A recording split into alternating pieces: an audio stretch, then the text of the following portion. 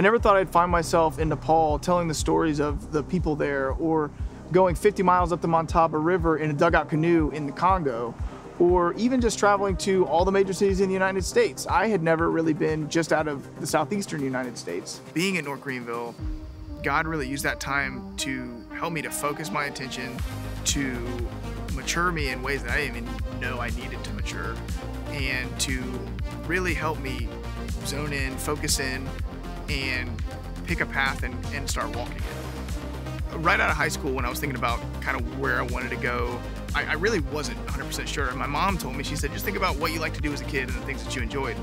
And I thought back to me and my cousin making goofy videos with our, you know, little handy cam.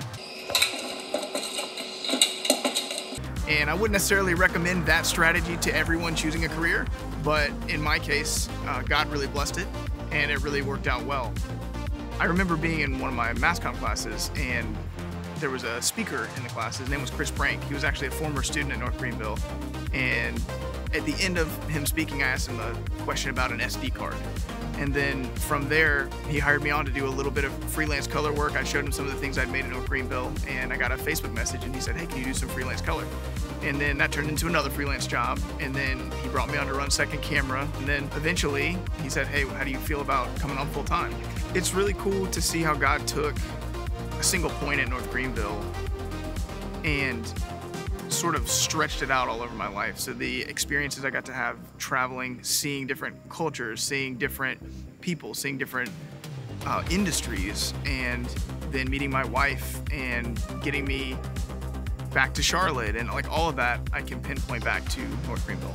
We were doing work for American Leprosy Mission locally. We were doing work for March of Dimes, a lot of local churches and nonprofits, and even Spinx gas stations. And then we kind of just found ourselves working for a lot of uh, national and international brands. Like we did stuff for Michelin, we did stuff for Sara Lee Breads, um, all fabric softeners. When I first went to North Greenville, I was terrified of public speaking. I was terrified of even just kind of walking up somebody and just striking up a conversation. And I think that is probably one of the biggest obstacles that being in North Greenville helped me overcome. Communication is it's the bedrock of relationship, right? And then relationship is the bedrock of business. So if you want to be able to do business and you want to be able to develop relationships, you have to know how to communicate. I wanted to make movies and then a lot of doors started opening up, a lot of opportunities. I kind of went into the corporate commercial space and even now I'm kind of back in a place where uh, the company I work for is making movies. I get to produce some documentary work, do some DP work, and also promotional work. So it's really cool that kind of from where I started to where I am now that I'm still in the field and in the industry that I set out to, to be in. When I look back, I can see North Greenville University really as that first connecting point for all the adventures that I've been able to be on so far. Where I'm at is not an end, and it's also not anything that's special to me.